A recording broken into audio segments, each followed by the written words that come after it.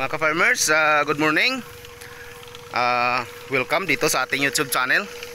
So kahapon mga ka-farmers ay nakapag-harvest tayo dito sa ating ampalaya. So pang 13th harvest natin kahapon. Bali part ng routine natin mga ka-farmers.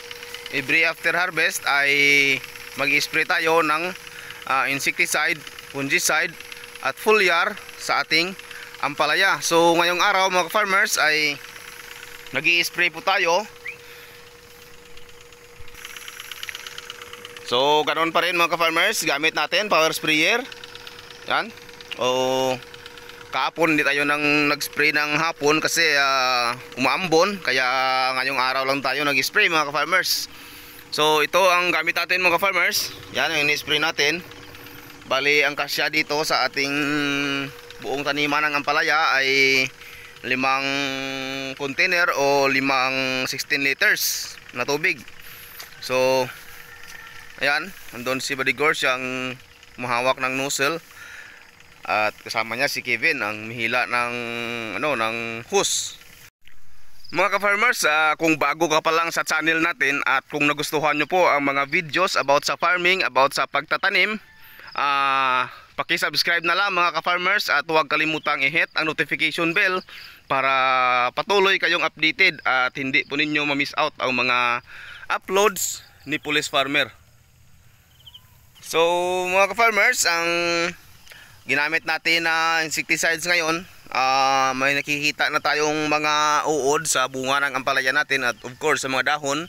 Kaya ang ina-apply natin ay systemic na insecticide. So gamit natin ngayon mga ka-farmers ay gold, tsaka hinaluan natin ng perfect iron para sa mga mites at sa mga trips. And then ang hinalo natin na fungicide mga ka-farmers ay cabrio top uh, para sa mga early blight at sa mga anthracnose mga farmers kasi po ay may nakikita tayong mga bunga ng palaya natin na may mga bulok-bulok dito sa ano niya sa uh, dulo niya. So yan si Badigor siya uh, uh, nag-spray and then sa foliar natin mga farmers ang ginamit natin ay kelpak para papatalbos ng ating ampalaya. Kasi nung nakaraang spray natin ay ang hinalo natin ay maldilo. Kaya ngayon ay alternate natin ang kilpak mga ka-farmers. Yan tuloy-tuloy ang pag-spray. Uh, ganito ang routine natin para hindi uh, dapuan ng insekto ang ating ampalaya.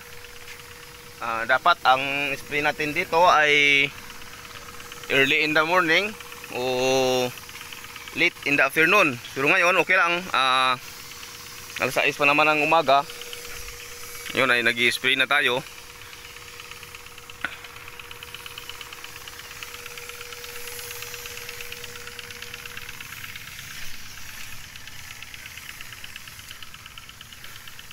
Yan ang napakatalab talaga mga farmers kapag power sprayer ang gamit natin ang ganda ng buga ng kanyang nozzle at saka uh, tamaan talaga ang lahat na insekto.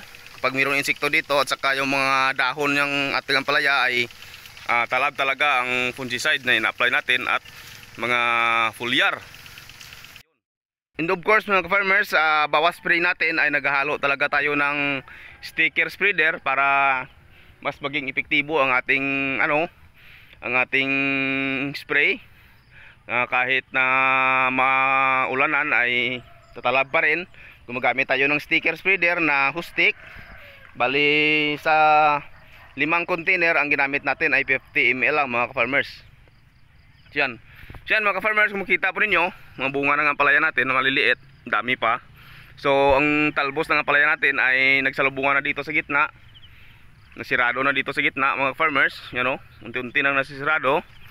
So uh, next harvest natin mga farmers ay sa Friday.